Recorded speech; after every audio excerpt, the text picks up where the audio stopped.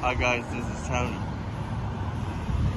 About to catch this short run and uh, right now here at 1626. After that, I'm gonna take care of something and then we'll be back later.